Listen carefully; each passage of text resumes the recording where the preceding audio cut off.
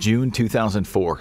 What should be the best day of a man's life turns into his very worst. As his dear wife pushes, squeezes, rips, and grips onto the side of a bed, this 33 year old man sees something that's just too much to take. The upside? A healthy baby and a safe wife. But unfortunately, a dead husband.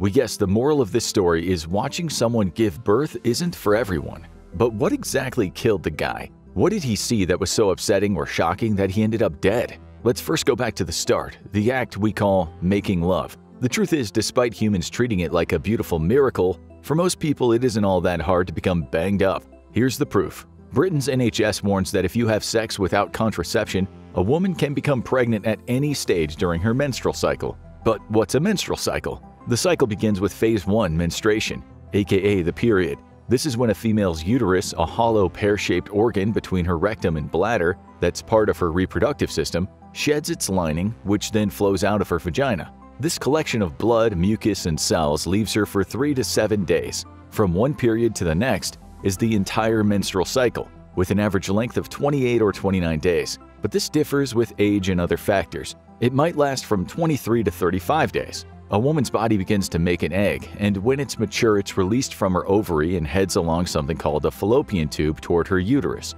This is where it waits for sperm. This process is called ovulation, and it can last anywhere between 16 and 32 hours. It happens about two weeks before her period. The egg hangs around there for about 24 hours, waiting for that little sperm to make the hard journey up through her body after it's entered through her anterior vagina. There's something called the luteal phase, when her uterus walls thicken to prepare for a pregnancy. If the egg isn't fertilized, those walls are released. This is the period. A woman can get pregnant at any time during her menstrual cycle, but she's at her most fertile, of course, during the ovulation part. That's her egg saying, Come on, you guys, I can't wait around forever. You should also know that sperm can live inside her body for up to seven days, so it might be waiting there for her to ovulate. It's not that it's conscious, hiding in dark corners ready to spring into action, it just sort of happens. It's kind of evolutionary magic.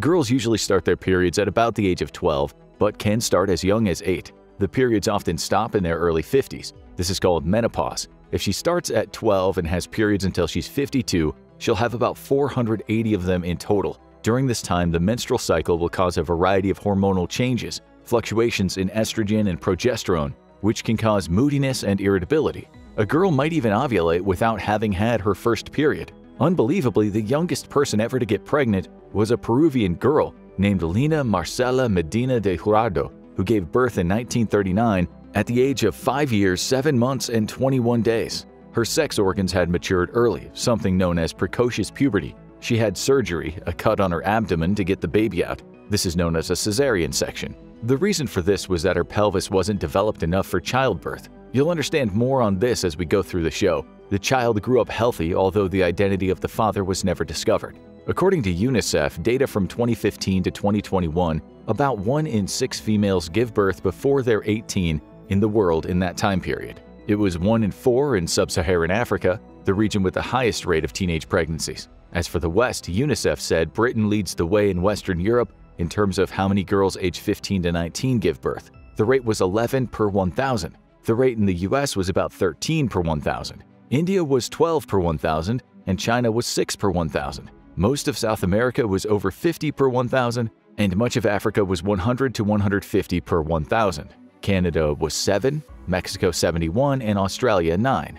When a guy ejaculates into a woman's vagina, he might release anywhere from 1 and a quarter to 5 milliliters of semen, about a quarter to 1 teaspoon. This goo contains many things, but most importantly the life-giving sperm. One ejaculation might produce anywhere from 40 to 500 million sperm. They all want to reach the egg, the literal race of a lifetime. Some move straight forward, some move around in circles, and some so-called non-progressive ones can go anywhere but forward. The immotile ones don't go anywhere at all. As we said, some live up to 7 days, so it's not much of a triathlon, but more like an Ironman. That's an apt comparison because there's iron in the semen. There are many nutrients in this life-giving goop, including lactic acid, magnesium, potassium, and importantly fructose and glucose, every Iron Man's best friend. It's these nutrients that help the sperm get to the egg, along with the woman's uterus muscles, which are also trying to push the sperm onward. These are rough figures, but it's thought only about 2 million sperm will make it as far as the woman's cervix. Let's call that the first checkpoint or ground zero. Only about 1 million get to the uterus, which is a tricky part of the trial. Let's call this one the ice fall. Only about 10,000 make it to the top of the uterus, where it seems many get a kind of hypoxia from the altitude, because only about half of them then head in the right direction if only sperm had Google Maps. The 5,000 left get to the uterotubal junction. This is the death zone, since only about a thousand will get to the next part, the fallopian tube. Just when they thought they made it, they hit a kinda Hillary step and only around 200 get to the egg. The journey is not over, only one sperm from those 200 or so gets to plant his flag in the egg. The whole process might have been as fast as 45 minutes, but it might also be as much as 12 hours. And if the sperm is one of those hardcore tortoises, not a hare, it might be the one that waits as long as 7 days. Once there, it fuses with the egg, they fall in love, they are attached forevermore. You might be wondering, what are the chances of you having sex one time and your partner or one night stand becomes pregnant? The simple answer is it could happen that one time, but studies have shown there's about a 1 in 20 chance for healthy young people when they have sex. As we said, there's a much higher chance when she's ovulating. So, the great adventurer, the winner of the race, the champ, has fused with the egg. This is called fertilization. It's when the real magic happens. The fertilized egg grows into a ball of cells called the blastocyst the early stage of the embryo. The cells are now dividing and reproducing. This embryo reaches the uterus after three or four days, where it floats for a couple days and then attaches itself to the uterine lining. This is called implantation, when the body starts churning out many hormones to create life. It's thanks to these hormones that a woman can take pregnancy tests. According to the American College of Obstetricians and Gynecologists and the National Institutes of Health, implantation is when pregnancy officially begins, maybe 9 to 10 days after fertilization. The inner cells are the embryo, and the outer cells that have burrowed into the walls are the placenta. They'll work in tandem to make a complete human that can survive in the outside world. The organs start to develop about three weeks after fertilization. You've got the ectoderm that contributes to the nervous system, skin, mouth, anus, and hair, the mesoderm for the musculoskeletal, cardiovascular, and kidneys, and the endoderm is for the respiratory and digestive systems. We won't get too technical here, otherwise this video will take all day, after about 10 weeks after fertilization, the organs are pretty much formed. We can now call the embryo the fetus. The brain and the spinal cord keep developing as time goes on. After around 14 weeks, the sex of the child is evident. Facial features are being shaped, bones are ossifying, becoming bony, the kidneys are making pee-pee, and the fetus is starting to swallow. It's around 21 to 24 weeks that the fetus is now what we'd call viable, meaning it has a chance to survive in the outside world. On July 5, 2020, a woman in the US had the most premature baby in recorded history. It was born after 21 weeks and one day, or 148 total days, weighing just 14.8 ounces, just under 1 pound. He had a 1% chance of survival, but he beat the odds, and as far as we can see, is alive and well today. Usually, it's only around week 29 that the fetus accumulates body fat, the stuff that we'll likely spend 80 years trying to lose. The bones get harder, it can respond to stimuli like sound, and its lungs have matured in a few more weeks. At about week 33 to 36, its head engages with the woman's pelvic cavity. This is something called baby dropping, but the real term is lightening. There's no exact time limit for this, it might happen weeks before birth or even just hours before. The baby starts kicking more closer to the birth. If it could speak, it might be saying something like, Let me out of here, there's not enough space. If you're wondering how it's even alive in such a confined space, it's that wonderful organ, the placenta, that provides nutrients and oxygen. Okay, we're almost ready for takeoff. The baby has dropped, the woman's cervix has started to soften and dilate, she's feeling contractions more often, meaning the muscles of her uterus relax and tighten. This is how that little guy gets pushed out eventually. The contractions come on in waves, giving the woman and her baby some much needed rest periods. There's no hard and fast rule for exactly when things will happen. Every pregnancy has its own thing going on. But it's usual in the first stage of labor for a woman's waters to break. This means that all the fluid-filled membranous sac called the amniotic sac, something that's been cushioning the kid, breaks. The head of the child likely does the breaking in this case. It can gush or it can trickle out, but if it does the latter, it might feel like peeing on yourself. The water should be yellowish. If it's green, it might mean problems. About 7 out of every 10 women give birth within 24 hours of their water breaking, and just about all women, 90%, will give birth within the next 48 hours. Sometimes waters break surprisingly early, so it can come as a bit of a shock. Here are some real-life stories.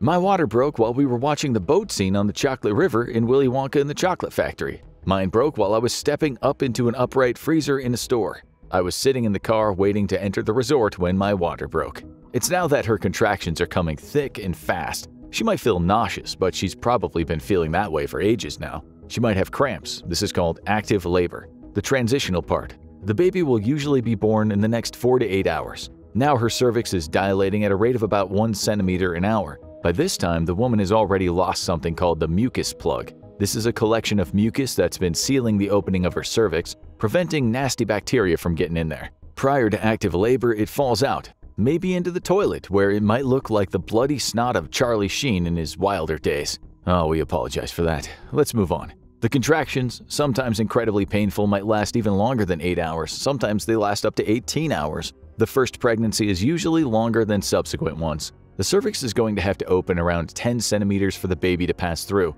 This is referred to as fully dilated. We humans have very big heads to accommodate our big brains, which is good, or we'd still be hanging out in the trees and having poop throwing fights. But the downside is that our head needs to get through that very small opening. Women have described it as pooping out a pineapple without the sharp bits, of course. The pain level can be low, slightly challenging, hardcore, or screaming your head off and swearing to God that you'll never ever put yourself through this again.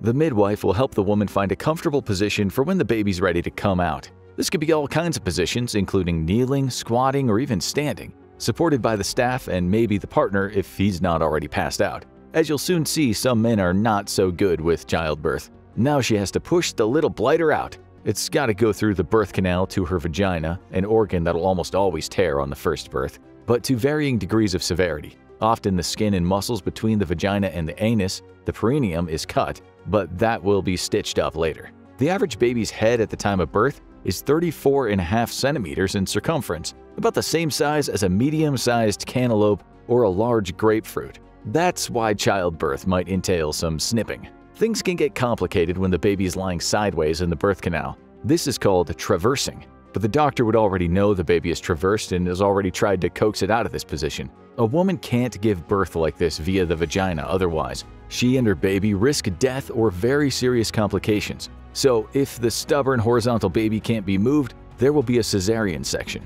Only 2 to 13% of babies are in a difficult position at the time of delivery. Also uncommon is the breech position, which means feet first. Again, the doctors will try to move the baby, but if that's not possible, a C-section is in the cards. About 3 to 5% of women will have a breech baby at weeks 37 to 40. Right, so here comes the choo-choo through the tunnel. The head comes out, and the rest follows. Its airways are cleared if needed, and if all looks good, the umbilical cord will be cut and clamped soon after. The clamping of the cord doesn't happen until every last bit of blood has left, as this is good for the baby's health. Although if it's wrapped around the baby's head, it'll be cut sooner. While the mother is now feeling great relief, there is more to be done. The placenta has to come out. It usually does so within about 30 minutes, but it could take an hour. Some women have described this as like passing a giant stream of jello. It's not painful, although there might be mild contractions. The midwife pulls the cord, and in turn that pulls the placenta through the vagina. If there's excessive bleeding or the placenta seems stubborn, it can be easily managed. The placenta will not come out in only 2 to 3% of births, but medical staff should be able to sort that out. If for some reason it's left in there, there's a high risk of bleeding and infection. Since it is still attached to the uterine wall, you have to be careful not to pull out the uterus. Just imagine now how dangerous having a child was in the Middle Ages. Okay, so how is the husband, the witness to all this screaming, tearing, slicing, and oozing of nature's most cherished protective gloop? What he's certainly not doing is something that some other mammals do, which is eating the placenta or placentophagy. In some cultures, humans might consume it, but not a Slurpee when it's fresh, when it's cooked. They think it's good for them, but there's no science to back that up. You really don't need any placenta soup, but it also won't harm you. Back to the husband. Hopefully he's not in a hospital bed himself, recovering from something his brain is translated as a cross between The Exorcist and the Texas Chainsaw Massacre. Many men do indeed find childbirth horrific. According to a British survey of 1,000 women, 5% of their male partners fainted during their childbirth. A paper published by the National Institutes of Health explained, it is estimated that approximately 13% of expectant fathers experience a pathological and debilitating fear of childbirth. That's kind of funny, given these days it's said 96% of dads in the developed world are there for the birth of their child. Statistically, only 87% of them don't hate every minute of it. However, according to our research, many men only faint during the epidural, the injection of a local anesthetic into the partner's spinal nerves in their lower back. It's thought that 20 to 30% of adults have a needle phobia. That's what happened to the guy in the intro video. He passed out during the epidural, fell back, banged his head on the wall, and died. We can't finish on such a grim note, so here's a story from an American woman whose husband sat on the floor when she was in agony needing his hand as she got his epidural. She wrote on Reddit, he explained later that he thought it would make less of a scene to just sit on the floor, then pass out or puke all over the nice clean delivery room. Fair enough. Now you need to watch how an erection works, or have a look at weird facts about the male body you didn't know.